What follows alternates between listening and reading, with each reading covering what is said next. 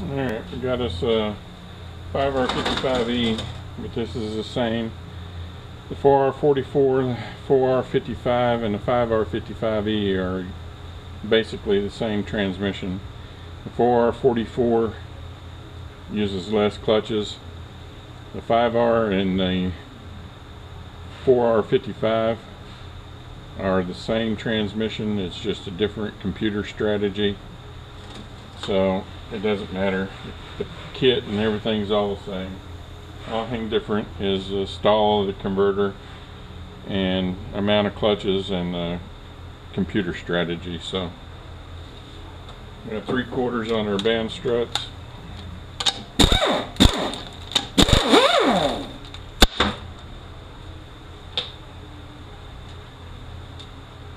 Seventeens on the tail housing. Now these studs can be in different places. I've seen only one. I've seen two. So just put them back wherever they were. Usually there's nothing even attached to them, so it doesn't really matter.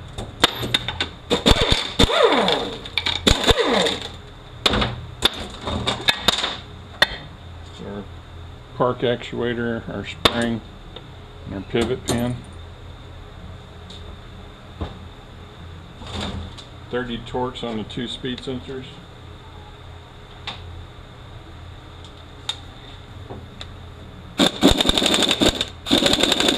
Mm, that may break.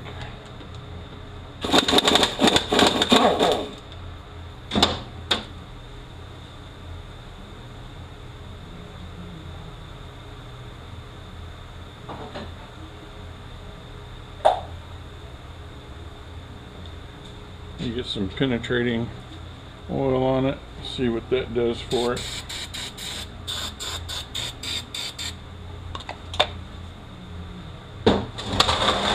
Come back to that. Get our servos out. There's a little notch right here in the case. You can get behind the snap ring there and pry it out.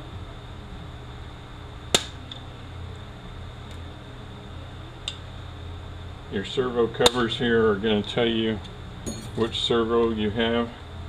The ZC is the biggest one.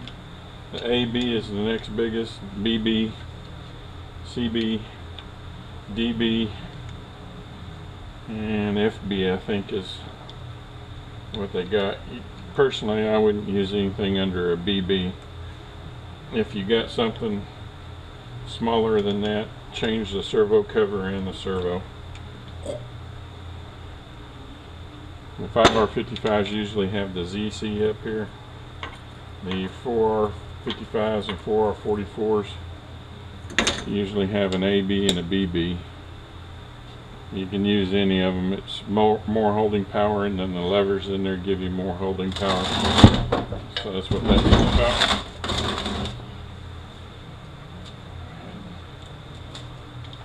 Pull the speed sensor out if it'll come out.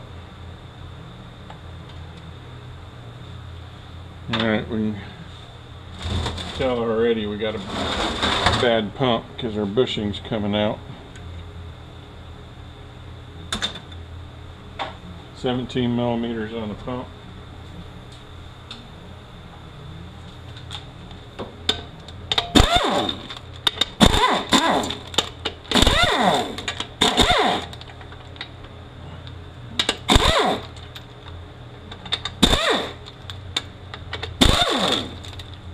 Kind of to stay out of the ca camera's way.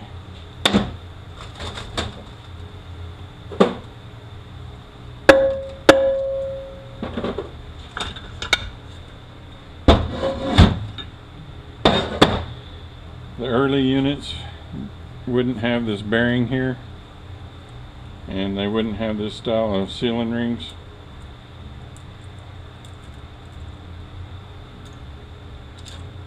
Pump washer, 40 Torx on the pump.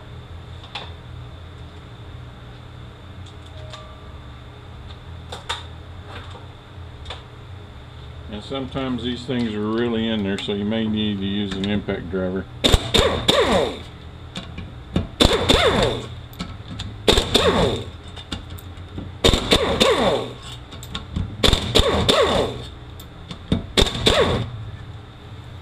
didn't want to break loose, I'm going to get you something like that. Put your socket on it, smack it with the hammer while you're turning, and it'll break them loose.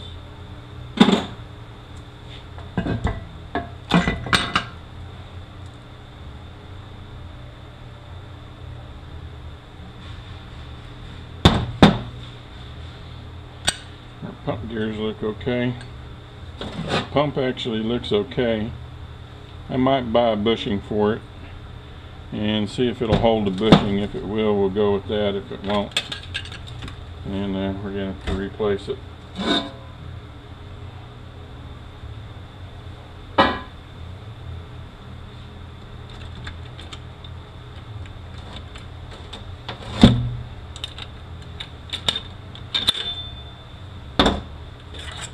Our overdrive band, even if this band looks good, replace it. They always break. Our band struts. Our overdrive sprag is bad because there's a oil slinger for it.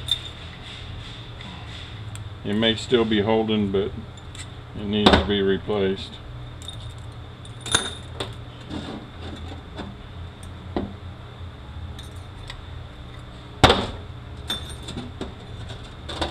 To be very careful that you don't bend this ring right here. A lot of times there's brass washers underneath here and uh, that one's gone. Most of the time it's missing at least one or two and it gets wrapped up inside here. And look there's a piece of it right there. We can just dig that out and this ring gear will still be okay. Planet is toast.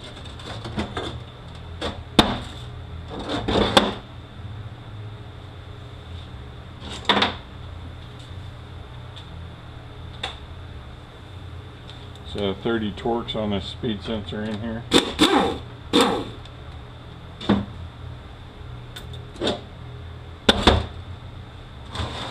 Let's see if this one will come out now.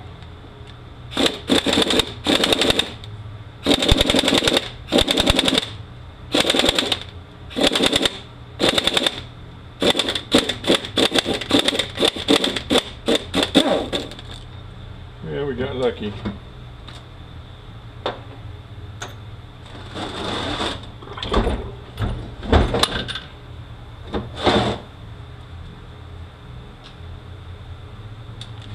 Thirteen millimeters on the paint.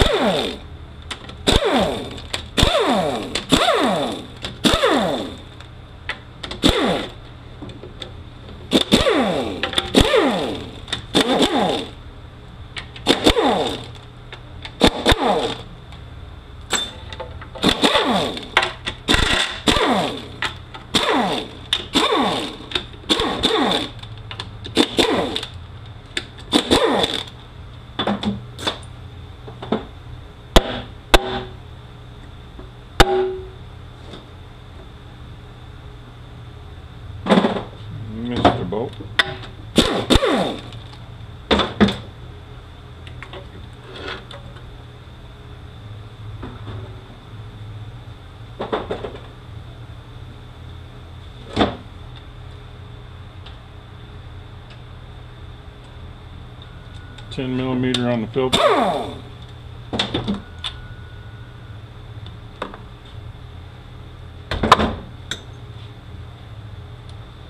ahead and unplug our harness. If you get one of these that there's been water in the unit, you're going to want to go ahead and replace this wiring harness. As I've seen them where they look just fine. And once you clean the case up, the insulation starts falling off all the wires. So, I've seen it more than once too. Just go ahead and replace it.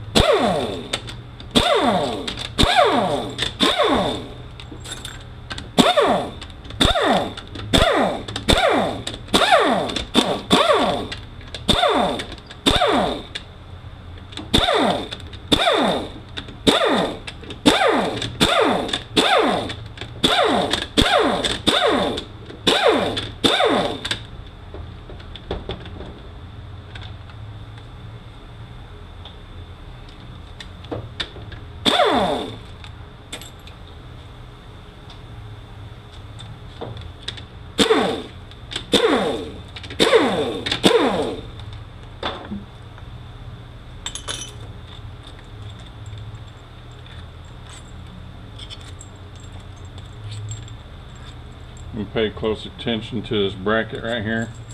I'm make sure that your solenoid's not coming out. This real early models, this would crack and let that uh, um, solenoid come out. But they can also wear out. I'm gonna make sure that the solenoids is nice and tight and not just flopping around in there. The 95 and 96 models use a green solenoid. From uh, 97 up, it uses a, a red solenoid. You don't want to screw that up.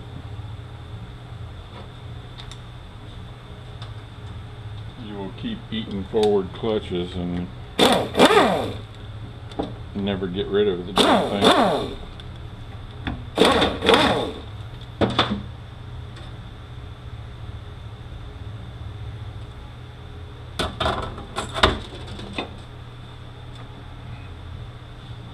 Our reverse servo.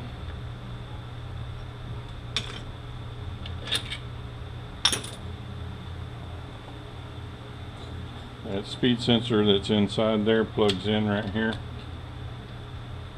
So go ahead and unplug that.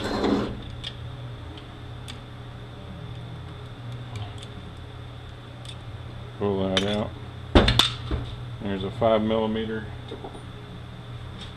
uh, bolt down inside there. Some of the later ones are are 30 Torx.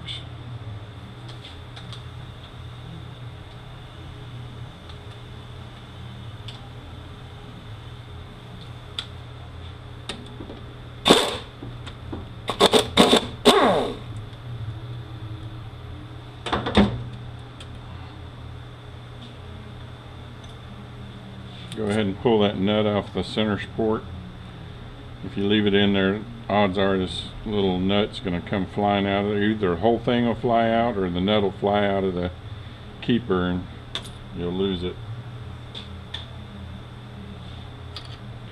Our bracket for band struts.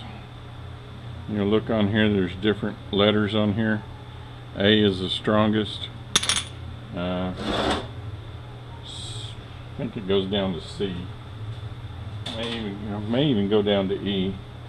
I think on the early units, but don't use anything below a B as far as I'm concerned.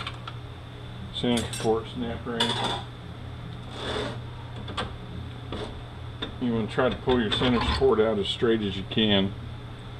These bearings often come apart as long as they don't have any pits in them you can reuse them.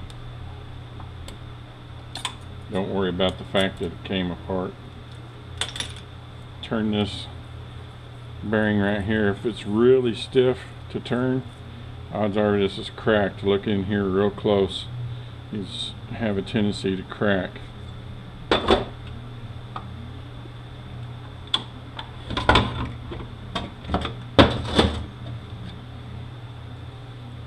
forward ring gear.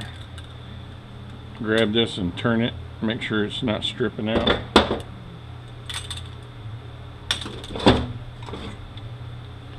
Another bearing inside here. This one's the same way. I've never seen one of these crack, but you want to make sure it's not hard to turn. Same way with this band, even if it looks good, replace it. Our other band apply. It's an A also, so we're good there. These fit awfully loose. There's supposed to be a washer behind here. I've never seen one on one. I don't worry too much about it, but they do fit loose like that. And there are no bushings in them. Make sure our pinions are okay. There's different pin tooth counts uh, or pinion counts as far as uh, how heavy a model it is. The 455s are only going to be like a four pinion.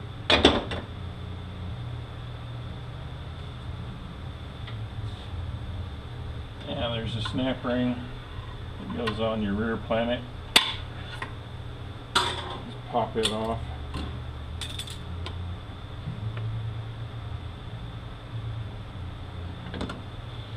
Pull our planet out, it's the same way, depending on what what it is in is how many pinions it has.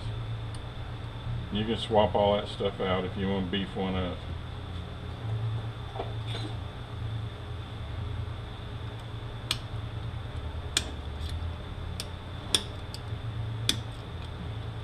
Yeah, I'm too worried about that bearing right now. Now, I've seen a lot of people, they leave this out. I know I got a buddy of mine that does it, leaves it out on everyone. I always put that slinger back in. It oils up that, that rear planet. You need a pair of snap ring pliers like that. And there's a snap ring that's holding everything on the output shaft. And hopefully it's not been put in upside down.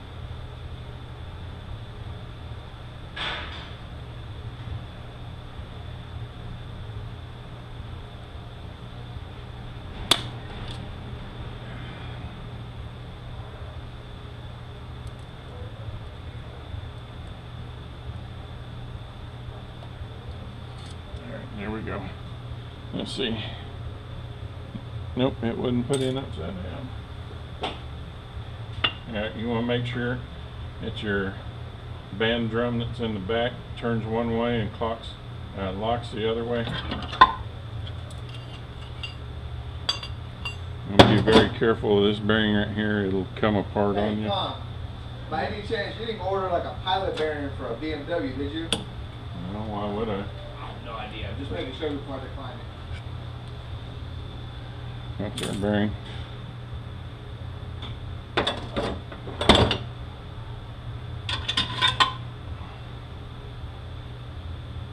These bands break also right along in here, but they're not near as bad as these other bands. You want to make sure it's your race that's in the case nice and firm and not moving around on you. To be careful, don't mess this up. There's our washer from the back. Alright, now, sometimes it's not easy to get that front servo out. Once you get all that out, you can get a screwdriver and push on it and it'll come out. Make sure your rubber's not coming apart and it's nice and soft.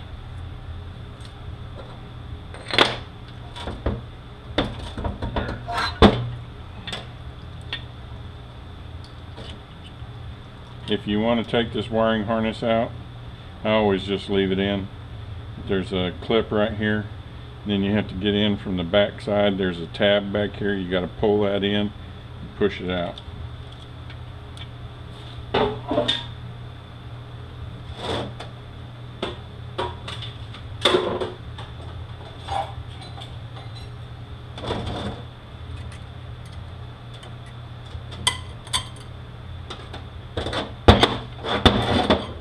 Alright, these clutches are directional. You'll look on here, you see how they're they're facing this way. Your the way I remember how they go is the forwards left, the rest right. So these all want to be the directs and the overdrives want to be facing to the right.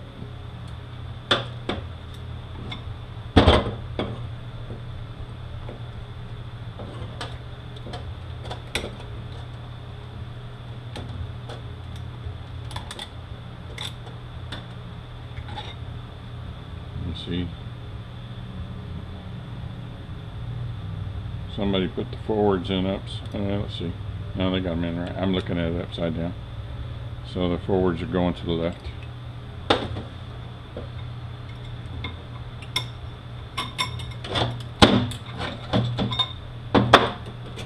This is our cushion for the forward.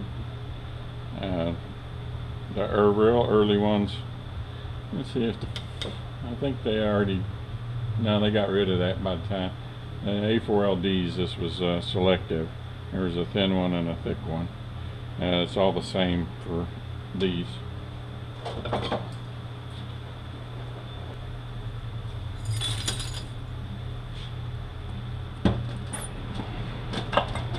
Your piston.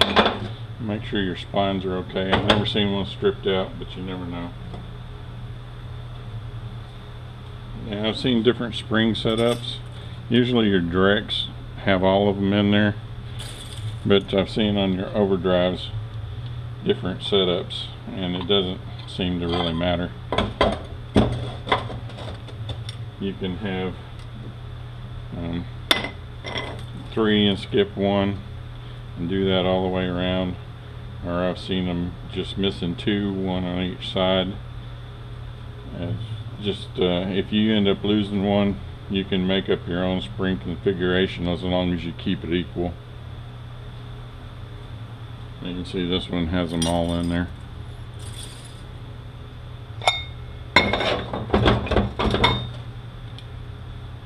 Alright, let me go write this one up.